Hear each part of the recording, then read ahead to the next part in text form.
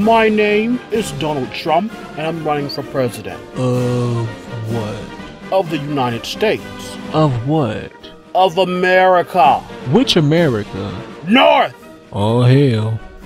Let's try this again, please. You know, I am Donald Trump, and I am running for president of the United States. You know, Hillary, Bernadette, and even some of the Republican nominees, you know, they're far too liberal and politically correct.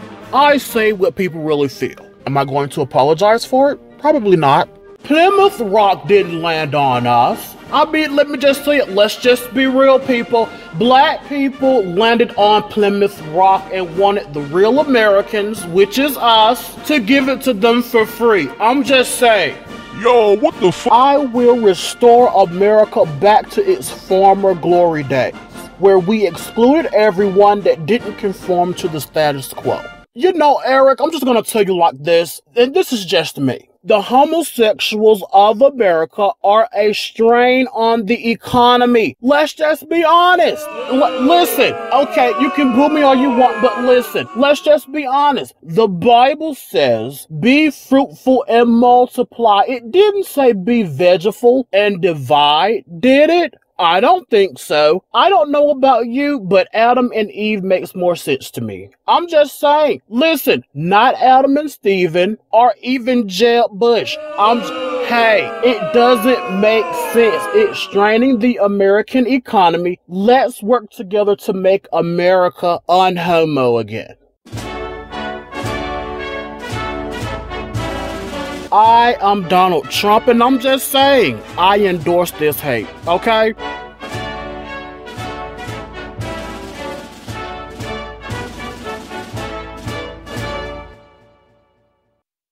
Mr. Trump, today you have a meeting with your campaign manager to discuss the details of you announcing your candidacy for president. I didn't understand anything you just said. I, you know, could you repeat that in English, please? I just don't understand your Arabic. Sorry. I'm Asian, sir. Oh, who said that? Um, my heritage, sir. Moo goo gai pan? Sorry, I'm not hungry. Oh my god, let's try this again, okay? Mr. Trump, you have a meeting with your campaign manager. Do you understand now? Year of the Red Monkey? Is that what you're saying? This man is really working overtime on my nerves. The things he says are just way over the top. This motherfucker, he's very demeaning to many cultures. But it's a dollar.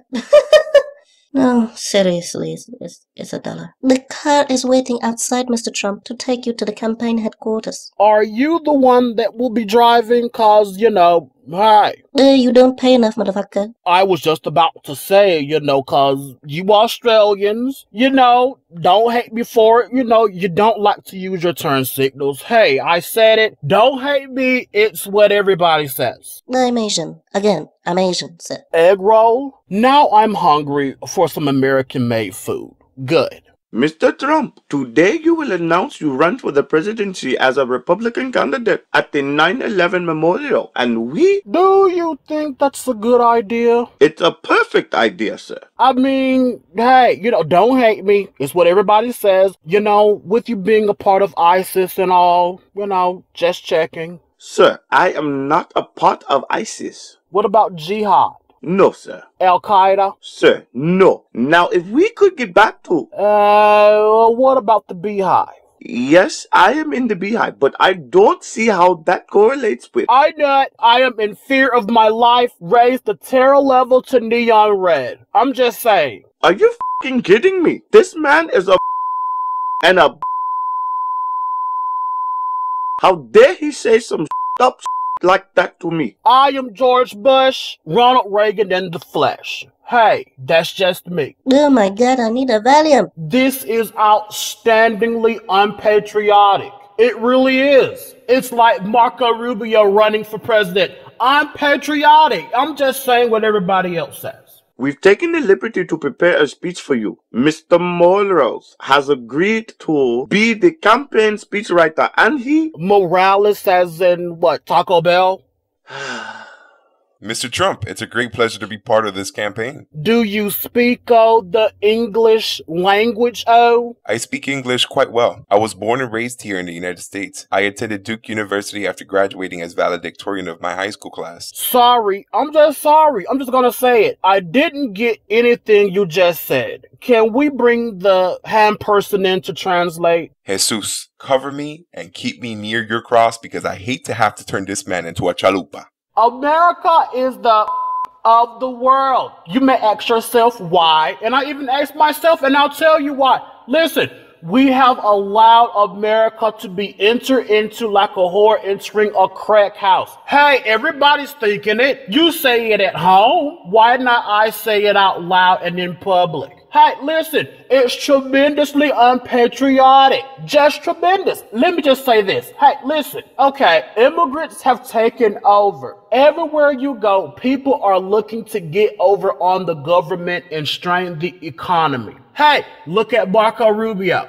Immigrant, you know? I didn't write that. I did not write that. I told you he was a character. Do you have some acid? I would like to drop some in my ears. Shit! Let's take a little time to do a retrospect of America. You know, let's go back in history, time machine people. Listen, since the beginning, people have wanted everything to be given to them and they give nothing in return. Hey, it's in the history books. You read about it in school. Hey, listen, why is that? That's not the way of the world. That's not the way George Washington would have wanted it. Hey, it's not what America can do for you. She has done enough. Think about what you need to do to keep her off her knees like a prostitute servicing someone. Okay? Make it stop. Make it stop. Trust me, he just getting started. So, with that being said, I stand before you today to say, hey, why don't we all make America white again? Uh, I'm done. I cannot do this shit no more. I'm sick of it. Motherfucker. My name is Donald Trump, and I am running for President of the United States of America. There will be no further comment. Thank you. Thank you. Hey, I see you. Thank you. Thank you very much. I thought they were going to give us free hot dogs and lemonade for this bullshit.